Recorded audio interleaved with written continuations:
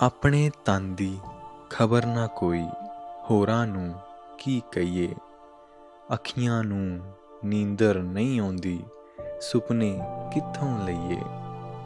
ਬੜਾ ਹਨੇਰਾ ਤਨ ਦੇ ਅੰਦਰ, ਕੋਈ ਦੀਵਾ ਜਗਾ ਲਈਏ।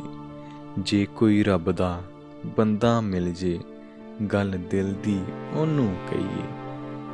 ਜਿੱਧਰ ਵੀ ਜਾਵਾਂ, ਵਸਦੀ ਲੁਕਾਈ ਕਿੱਧਰ ਜਾ ਕੇ ਬਈਏ? ਰੂਹ ਤੜਫਦੀ ਦਿਲ ਕੁਰਲਾਉਂਦਾ ਸੱਜਣਾ ਨੂੰ ਮਿਲ ਲਈਏ। ਚਲਾਕੀ ਤਾਂ ਉਹਨਾਂ ਆਪ ਹੀ ਕਰ ਲਈ, ਗੈਰਾਂ ਨੂੰ ਕੀ ਕਹੀਏ?